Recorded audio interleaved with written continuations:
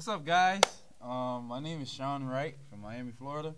Um, I'm gonna give you a little lesson today, but this lesson is gonna be a little different than most because I'm just gonna be transparent. You know, act like you guys have known me for a long time, and anybody that knows me knows that I'm not very savvy when it comes to uh, rudiments and always knowing exactly what I'm playing.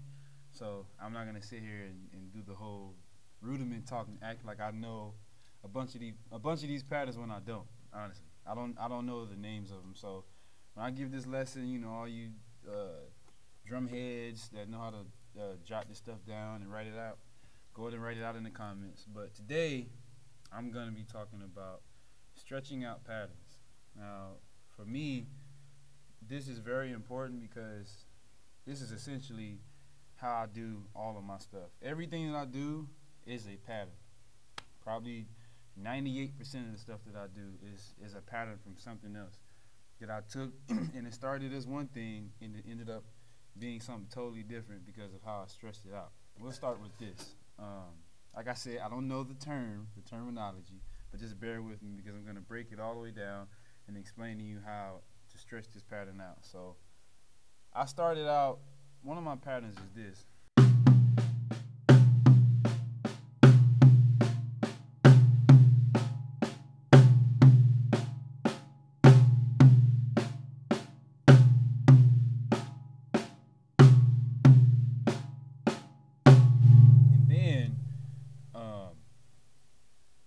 I did was I threw a kick in between, and this is this is when I uh, this is when it kind of changed, you know, the kind of vibe of it, because you go from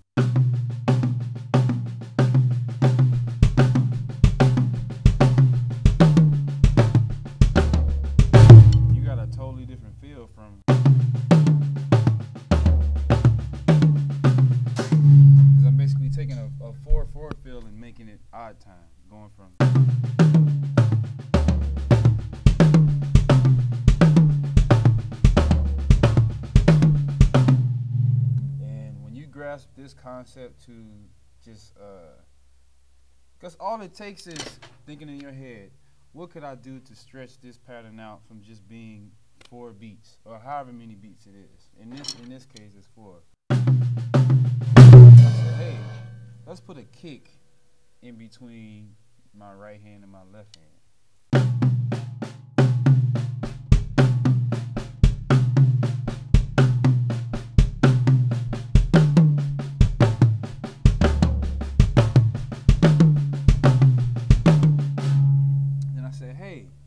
Let's stretch it out even more.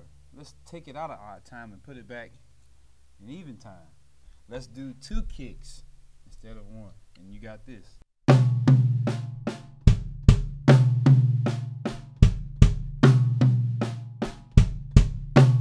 Now you got a pattern that's in six. Three totally different patterns that give you three totally different feels.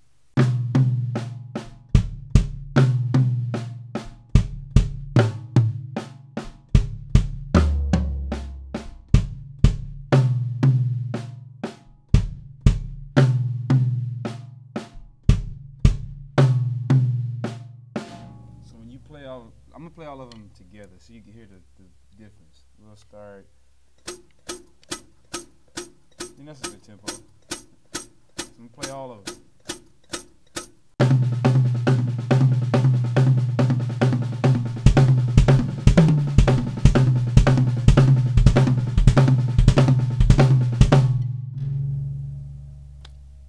Okay, the, ne- the next thing I'm gonna show you is how to come out of it. So if you make this like a, a two bar feel, you never being that it's such a you know intricate, you know kind of feel. You don't have to really end it in a crazy way. You can end it with just singles on the hand, so you can go from.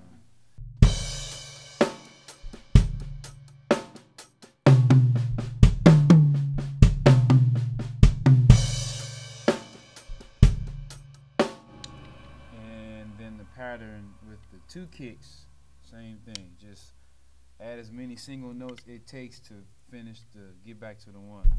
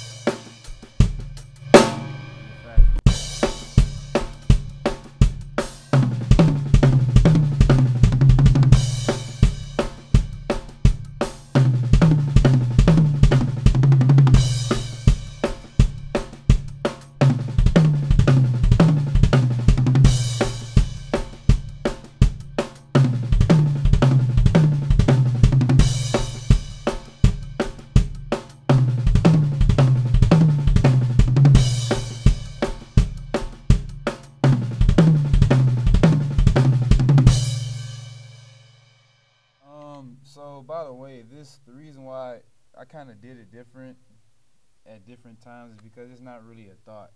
Like I said, there, there's people that map it out and that's how they play, you know, which is dope. It's just for me when I play, I never really think about when it's when I'm gonna start doing singles. I could I could only do that. I could do that feel for like, you know, two go arounds and then just do singles the whole time, or I'll do that pattern the whole time until I only have like a few beats left to do one or two uh, single notes. So it all depends on just how I'm feeling. Sometimes it may be.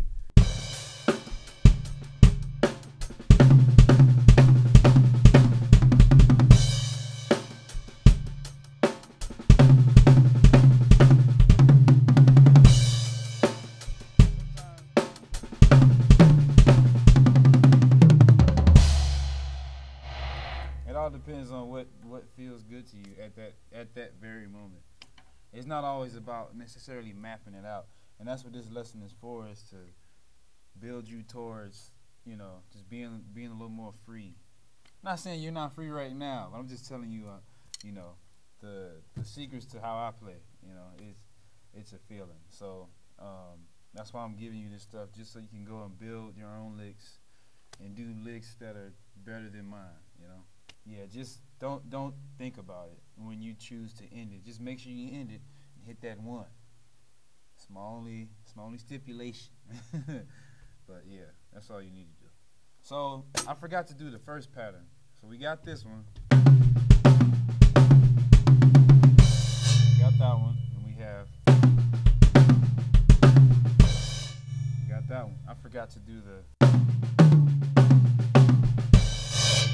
be the easiest one to get.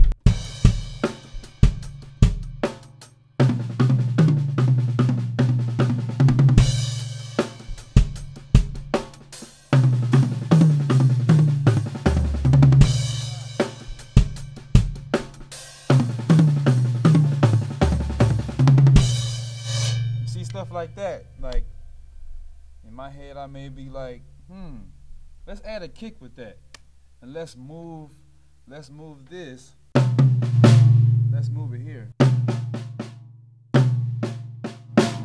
All feeling.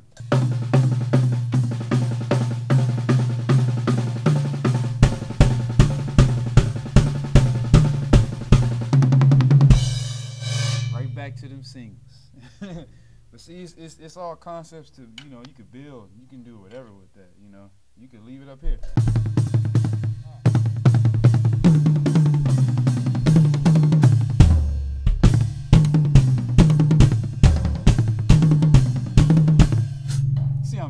But I'm just trying to you know show you that you can stretch that as far as you can stretch it. That's so many licks.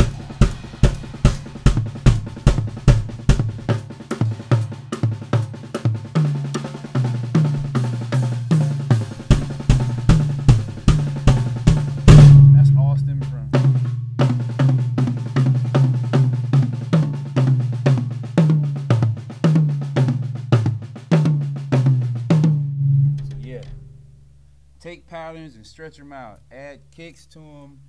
Add extra right hands, extra left hands, or take some hands out sometimes. Take a kick out, take a right hand out, and you'll have this arsenal of a bunch of patterns.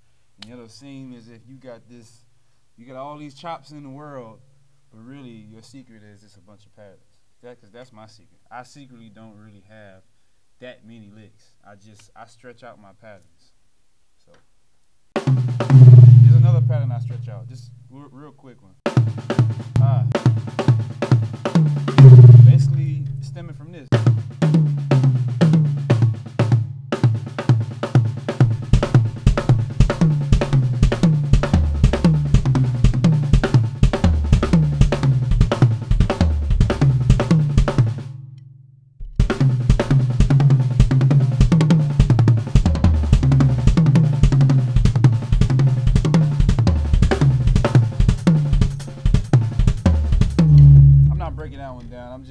To show you how uh, I can stretch out one pattern and it can turn into so many other things. You know?